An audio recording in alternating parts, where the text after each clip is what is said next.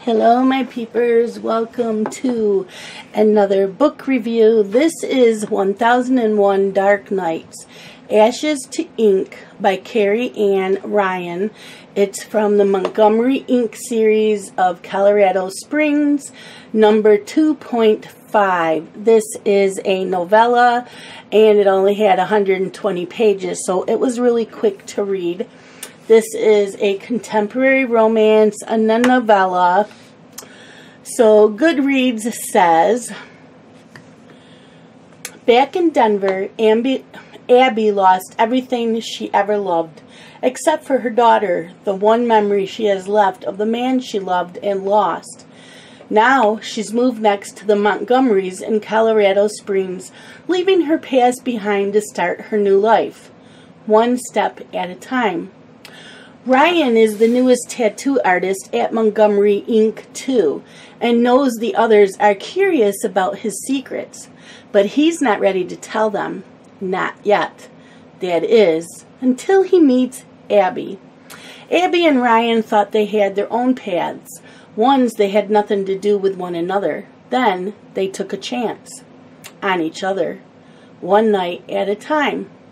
Every 1001 Dark Nights novella is a standalone story. For new readers, it is an introduction to an author's world, and for fans, it's a bonus book in the author series. I gave this five stars. And like I said, this is a novella of 120 pages. Abby has started a new life after losing the love of her life raising her daughter, and owning a tea shop. And Ryan is a tattoo artist with his own baggage. They started out as friends, but realized they really like each other. For it being such a short story, it has a lot of emotions in there, and you don't want to stop reading. I sat and read it all in one sitting. This town is full of Montgomerys, and they are all there for each other no matter what. I really enjoyed getting to know this town and the characters. And I received this from Inkslinger for a review because this is a blog tour I am doing the end of this month. And um, my review is up on Goodreads. It will be up on my blog the end of the month.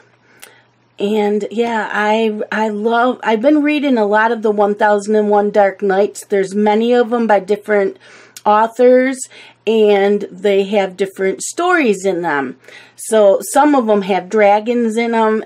I've been enjoying all of the novellas I've been reading. So I recommend this book. And thank you for watching. Bye-bye.